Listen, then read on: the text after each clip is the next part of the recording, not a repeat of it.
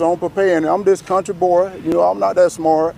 And he's that preacher. He's a smart man, wear these nice suits. So he's going to show up and embarrass me at the debate October the 14th. And I'm just waiting. You know, I'll show up and I'm going to do my best. Alrighty then. That was Herschel Walker, the Republican nominee for the state of Georgia for a U.S. Senate seat. A little bit important, you know, very uh, powerful position. Uh, admitting, in what I'm assuming was a brief moment of honesty, that he is not that smart and predicting that he'll be embarrassed by his Democratic opponent, Raphael Warnock, at their first debate set to take place on October 14th. The first question that I have is why would you admit this? Um, second of all, why would you run for the United States Senate if you know you're not that smart. See, this is kind of weird. Like something doesn't add up. And with all things, when it comes to the GOP, there's likely an ulterior motive. He probably wasn't just being honest for a brief moment. There's probably some sort of tactic behind what he's saying here. And we'll get to that here. But what's weird is that when he was asked why he's been dodging debates with Raphael Warnock, he implied that Raphael Warnock is afraid of him after he is saying, well, look, I know I'm not that smart and it's probably going to be a bloodbath, but nonetheless, he's afraid of me? Well, that doesn't make any sense. But, anyways, this is what Latrice Williams of Savannah Morning News explains. When asked about why he declined to debate Warnock initially, he became aggravated and said he had to hunt down Warnock and told him to put his big man pants on. Quote, he may not even show up for that one, said Walker. He has made every excuse not to show up. I begged him until I chased him down, and then he decided he was going to show up on October 14th. 14th. I didn't agree to do his debate because it wasn't fair. A fair debate is doing it in front of the voters, and I've agreed. So, on one hand, it seems like he's being momentarily honest, but then in the same breath, he's saying, Well, look, he's been dodging my debates. I rejected all of his debate offers, but, you know, he's been uh, dodging my debate offer, which it doesn't really make sense. And this was essentially the response from Warnock's campaign in response to this allegation that Raphael Warnock has been dodging debates when he has no reason to.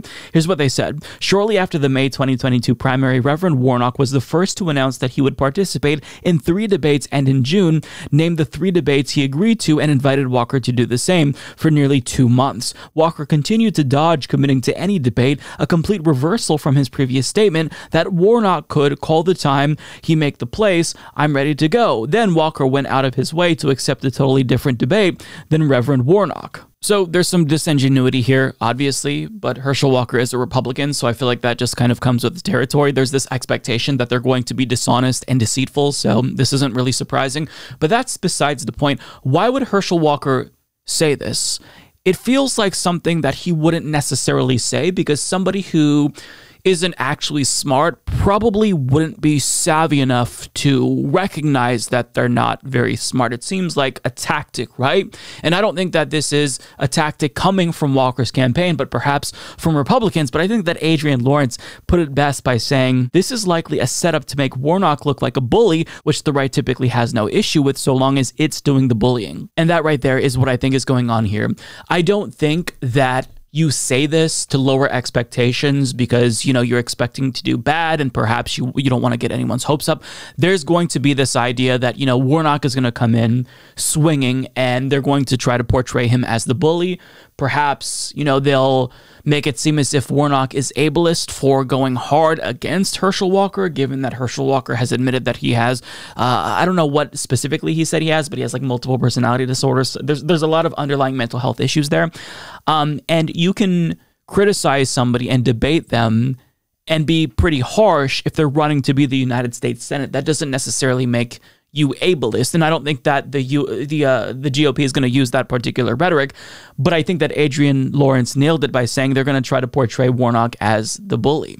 But this should tee up an argument against Warnock, saying, "Well, okay, if you're so fragile, if you think that I bullied you, perhaps you aren't strong enough to be in this position of power." And being an individual who suffers from mental health issues, as Herschel Walker clearly does, that doesn't necessarily make him inferior. That doesn't mean that he's a bad person person or, you know, any less worthy than anyone else. The reason why he's a less worthy candidate is because he can't serve. There are some individuals who need help, and people with mental health issues to that degree, they shouldn't be placed in a position of power. They need to be given help. And the family of Herschel Walker should step in and say, listen, this isn't necessarily something that you should be doing. Because look, this is a position of immense power. Like, this shouldn't be your fucking vanity project. This shouldn't be something that you choose to do because you're bored and you have friends within the Republican Party and you're friends with Donald Trump. This is a position where you will be affecting US policy for at least six years. So it's no small thing. So if they're trying to tee up this debate, I hope that you know Reverend Warnock's team anticipates it and they find a way to uh, you know respond. But you know I, am not sure either way. You know um, this is probably regardless if it, if it was intentional or not, the most honest that I've ever seen Herschel Walker be, and perhaps the only fact check with regard to Herschel Walker where I get to claim. True, he's right on both accounts. Not only that he will probably be embarrassed by Raphael Warnock, but that he's not that smart. I think that's abundantly evident just by listening to him speak.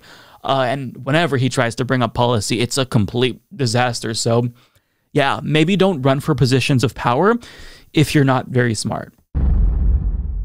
I don't talk like a politician. I don't talk like a politician. I don't talk like a politician. I built a successful chicken business. I don't talk like a politician. I don't talk like a politician. I don't talk like a politician. I built a successful chicken business. I don't talk like a politician.